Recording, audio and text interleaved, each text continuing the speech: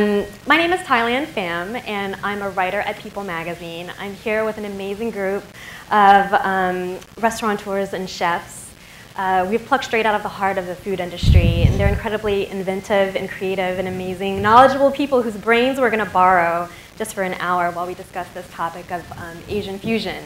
Like what it is, what it's different, how is it different now than the Asian fusion you thought you knew, and how it's going to um, sort of change the culinary landscape. And, and basically start with what Asian fusion is. and I mean, I feel like everyone has a different definition of it, whether it's um, fusing uh, cuisines that are Asian together or, or uh, Asian cuisines with different, with Western or Eastern um, cuisines. So please kind of describe like what you think Asian fusion is. For me as the chef, um, you know, we actually have Thai taco as well. but uh, to, ex to explain to the foreigner who actually came to Thailand and then, you know, the way that we actually making, um, basically, a just different form. And um, in a lot of Thailand culture, especially the royal king family, and then we have the royal cuisine, and then 450 years ago we have uh, Portuguese, which came to Thailand and then uh, bring a lot of um, uh, missionary came to Thailand and then they're teaching uh, how to cook, how to live our life and so on so on. So we took uh, most part of their desserts to kind of like become a Thai dessert. So if you go to Thailand today, you will find a Thai dessert and then you go to uh, Portuguese, and then you can find the uh, Portuguese dessert, which is actually similar, exactly the same, I probably would say. So uh, as the chef who cooking, you know, to uh, use different ingredients, I think that it's not really a fusion. But um, like example, in Thailand, we use a lot of uh, tomatoes in our som tam, which is green papaya salad. We use um, um, chili, lots of chilies, which is came from United States and then actually had bought it over. So if you count the ingredients, um, you know, what is the uh, real food? So all the ingredients, which is never actually uh, came from Thailand, it's had uh, brought along the way from far away to come to Thailand, and we put all the dishes together, become like example green curry. Even pad Thai is not a Thai dish. It came from China, and then we kind of like um, mix it together, become our taste, and then we call it pad thai. Same thing, uh, we call it um, roast duck and red curry. You know, we, we don't use oven to roast our duck. And uh, we actually borrow Chinese uh, roast duck, chop it in and put in our red curry, become our red curry, roast duck. But anyway, I think um, a lot of things that Asian fusion, I think with we using different ingredients, you know, uh, from different countries, and then mix it together, become our unique. And um, um, I, I, think the um, Asian fusion is not really a word that I really like to use because I think nowadays the chef creating on their own dishes, they um, changing, they they taking the uh, classic to make it more modern. So this is my opinion. I'm also very curious in how, much like you were saying, you've used your restaurant to educate, um, and not just fusion, but in terms of modernization, in terms of very specific ways that you've all decided to make your restaurants. In what ways have you all um, tried to educate your um, diners, if, if at all? Is there something that you know you feel like your restaurant is bringing, bringing it specific, specifically to light? Um, well, for me, um, in the restaurants, like uh, I'm opening, I, I, I, did open the restaurant since 2004, and then trying to educate people here to eat something else apart from pad thai because of uh, people coming into your restaurants and then it was like you know we want pad thai and then if you don't have the pad thai on the menu you're not a Thai restaurant. And then uh, it's really hard for me because of um, you know, this is what they do like you know, I work in my city restaurants in Sydney and then open restaurants in Bangkok, executive chef in, in five-star hotel. And then uh, now I know what I, do, I want to do my, my, own way. Like my sister put the uh, um, green peas or summer peas, spring, spring peas, what you want to call them. And then uh, she put into the green curry. So I asked her why you put the, spring, um, the green peas in the uh, green curries because uh, she said nobody will eat it. No, nobody will eat the eggplant. I'm sorry. Um, the green curry is supposed to have like apple eggplant and then uh, brinjal or the um, berry eggplant. So there are two different type of eggplants they put in if you go to Thailand. And then it's kind of like really bitter. And then, uh, so I asked my sister why you put the sweet pea in there. And then she said, well, you know, nobody eat eggplant, so we put green pea instead of.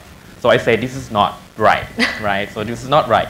And then, but again, like to go back, you know, who you offer, your clientele, and so on and so on. So when I opened the restaurants in New York, I, ha- I did put the uh, eggplant. We have to bought it from Florida, and then the uh, berry eggplant as well. It's really expensive, but to make it more traditional, and then you can change the part, the other part, like you know, they in Thailand you use like uh, cheaper cut uh, sliced meat. So we actually upgrade a little bit.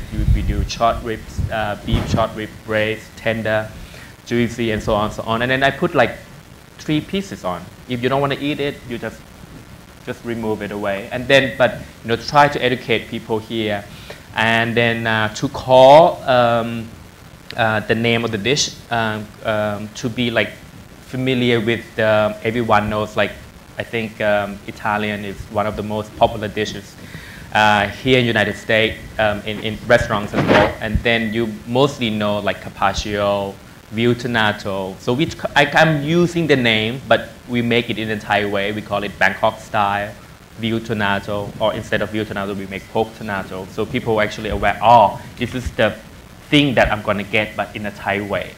Or something like you can't call it pork carpaccio because of, uh, you know, carpaccio is raw. So uh, you actually have to use the right name to actually um, helping people to understand it because you're not you don't want to put the picture on your menu or again like different kind of restaurants. So I think I'm using the different name, borrowing the name to make it more like uh, people familiar with. Culinary idols or mentors or inspirations are in terms of having started your business. Um, is there anyone particular that you, know, you kind of drew inspiration from? Uh, for me, it's Mark Miller. He's the um, Southwest um, cuisine, and then um, I, I, knew him since I was 23 when he came back from Sydney, and then he came to Thailand. So I met him there, and then now he's like consulting for uh, PF Chang, and then uh, all the sauce and uh, executive uh, chef of the uh, consulting chef, and also with the Coca-Cola company, and, and he actually um, teach me a lot of things, and in terms of uh, flavor, mixing up the flavor, and and also the the business that he does. So usually I stay behind the kitchen, in behind the stove and cooking. So now trying to learn um, something like on the other side, which is like you can't be, uh, you know, um, put your face down and cooking, not seeing customer, and just really enjoy what you're doing, which, which is I love anyway. That's why I decided to came uh, to come to the United States to open uh, the restaurants here then um, I think he's, he's just a, a, great man. Like I probably would say like he's the godfather of uh, chef in the United States. So one of you guys earlier mentioned about putting pictures on the menu. It's a no-no.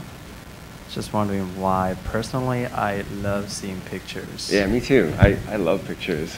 You eat with but your eyes. Yeah. But I noticed that a lot of restaurants they try not to. Just wondering well, I think uh, just different to your customer. Like you know, I, we probably would have uh, something like really simple. Uh, even though it's really simple, you can put the picture on the menu, and then I think it's just different kind of uh, business uh, restaurants criteria that you actually want to um, represent it. So, in my restaurants in Bangkok, I have the uh, dessert restaurants, and then I put the picture on it because of uh, you know they're really tempting. They want to see what is on it, and then uh, when you send it, it's not exactly the same. They send it back. It's like have to be exactly the same. but uh, of course, there I think the different criteria. I guess a different criteria of the restaurants. What kind of uh, restaurant that you want to uh, put the picture in, or something like even though like uh, we ex- we have so many kind of noodles. I think same here as well. In same in uh, China as well. So we have like different kind of version. You get different kind of stuff into the uh, uh, the dishes, and then you put the picture on it. So what you're getting on different kind. But sometimes because people actually doesn't know, especially like at the airport, they probably will put a lot of pictures on the menu so people know uh, when you're traveling and you know exactly what you want to get or uh, what you, when you see what you can what you're getting. Question is mostly for Vikas and Ian, and as you're not American natives. And I was curious, in terms of Vikas's restaurant here in New York, what kind of changes you felt that you might need to make for a New York consumer. And for Ian, you having restaurants both here and all over the world, like if I go into your restaurant in, in Barcelona, say, versus uh, Mumbai, like what variations, if any, are you making for those those cities because different pay palates? Um, I had a really tough time to uh, open restaurants in uh, Barcelona because of um, you know I try to use as less chili as possible, and then they say like they can't eat it. It's too like I blow their head off. Uh, so um, you know I had to uh, borrow Korean chili dry chili powder to make it uh, less spicy because of uh, they, if they eat black pepper, they say this is really spicy. And we have the dish like lemongrass and black pepper. So we, I have to, every country I have to, uh, to adjust the flavor into the uh, local people. Like if I go to Mumbai, and then the first thing, if they taste something really sweet for appetizer and entree, they, they, they, they hated it because of uh, they like to be more salty. They don't like sour. So basically, you actually have to know each country you go there and you open the restaurants because of uh, it, it, quite really challenging. But for me to open in, in Barcelona took me like two weeks, like really fast. I have a great team to open, but uh, the food I have to adapt it a lot. Like it's concerned about the spiciness, and then. Um, for Mumbai, they love spicy as well. And then, but for me to, if you tell me to make it spicy, it's like Thailand spicy, and then they cannot eat it.